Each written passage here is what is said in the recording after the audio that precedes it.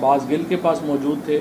उनके घर के बाहर मशीन गन लेके लोग जो हैं वो मोटरसाइकिल के ऊपर आए।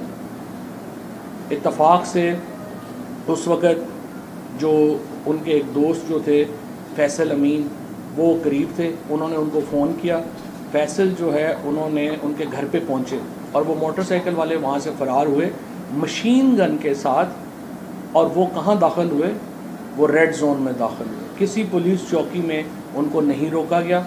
वो सदर हाउस वज़ी अजम हाउस से गुज़रते हुए अपनी गन्स के साथ जो है, वो वहाँ पे गायब हुए। अब मैं ये समझता हूँ, उसकी पुलिस में रिपोर्ट जो है, वो मुराद ने कर रहे हैं।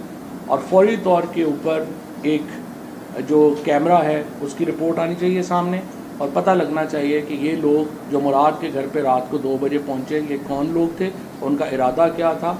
और इस वक्त की जो सूरत हाल है, उसके तनाजुर में हम समझते हैं कि इस तरह की जो वाक़ात हैं, उनकी शदीद हम जो है वो मजम्मत करते हैं।